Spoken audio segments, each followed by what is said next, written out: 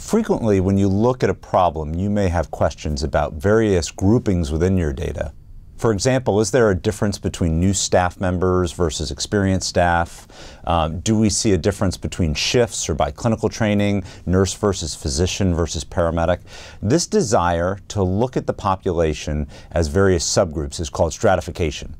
By stratifying your data, you may be able to identify opportunities for improvement that aren't obvious from data as a whole.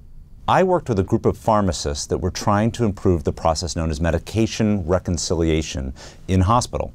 Medication reconciliation is the process of creating the most accurate list possible of all medications a patient is taking and comparing that list against the physician's orders. The goal is to provide correct medications to the patient at all transition points within the hospital. As the pharmacists were discussing the process, they quickly identified different scenarios within the process worthy of stratifying, including day versus night and weekday versus weekend. It was predicted there were variations in the process in these areas that would be worth understanding. So let's uh, take a look at an example of that data. Let's imagine that their prediction came true. So if we were going to draw ourselves a little bit of a run chart,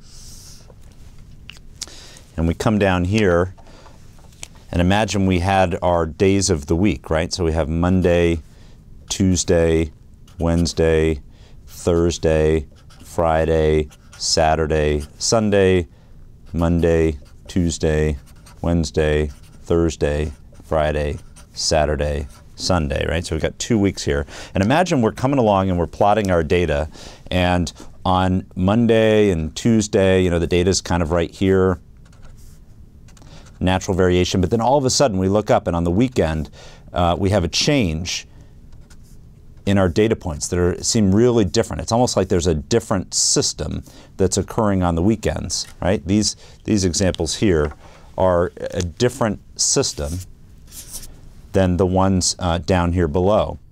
And so this is a very common example of where you might look at a place where it makes sense to stratify out um, the, the two different parts of the week uh, because you're seeing that there are different systems that exist.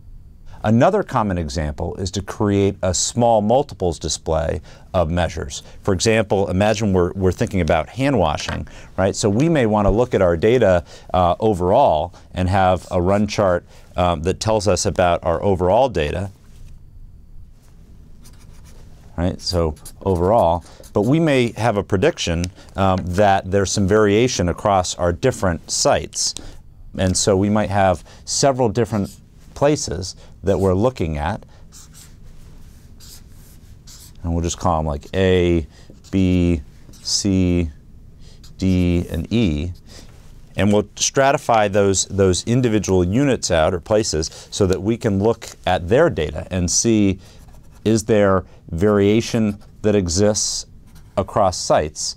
And the stratification helps us potentially see um, where there's opportunity for improvement that'll help change our outcome.